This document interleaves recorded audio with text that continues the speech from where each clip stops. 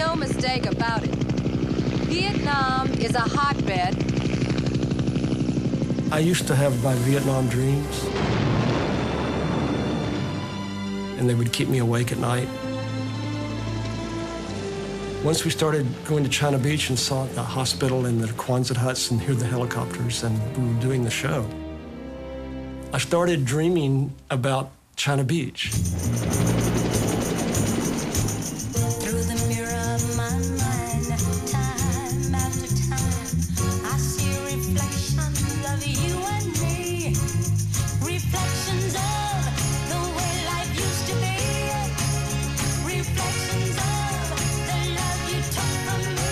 You know, there's there's something profound about China Beach in that rather than constructed stories, they took real people's stories and worked them into this sort of fabric, like a quilt.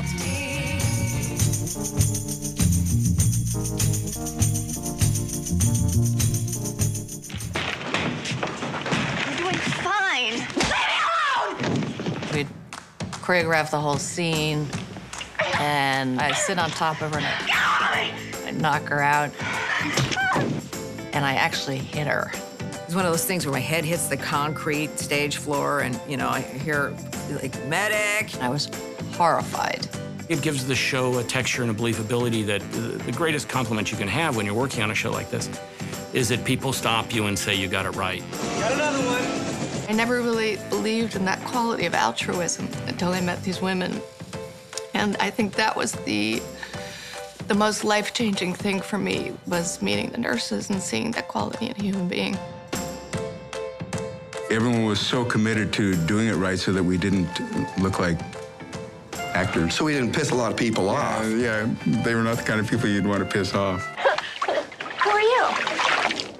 What are you doing? We're the Boogaloo. We're triplets. Don't you wish you had this problem too?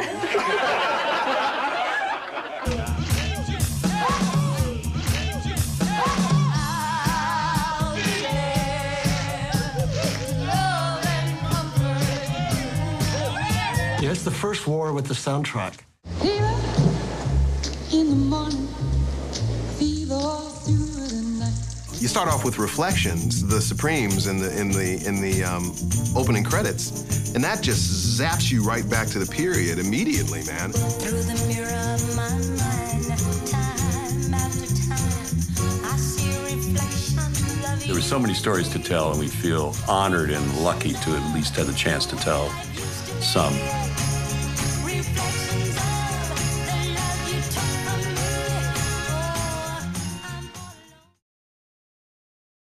And, and I think that was the the most life-changing thing for me was meeting the nurses and seeing that quality in a human being. Everyone was so committed to doing it right so that we didn't look like actors. So we didn't piss a lot of people off. Uh, yeah, they were not the kind of people you'd want to piss off. Who are you? What are you doing? We're the Boogaloo. We're triplets. Beach in that rather than constructed stories, they took real people's stories and worked them into this sort of fabric, like a quilt.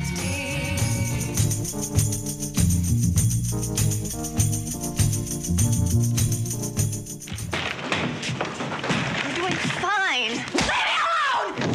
We'd choreograph the whole scene, and I'd sit on top of her and Make no mistake about it. Vietnam is a hotbed. I used to have my Vietnam dreams, and they would keep me awake at night.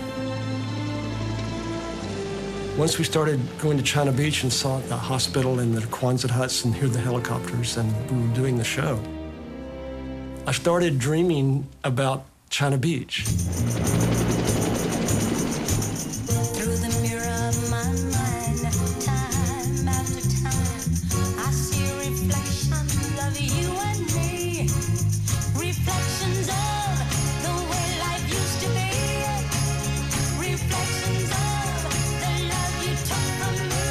You know, there's there's something profound about China. I'd knock her out.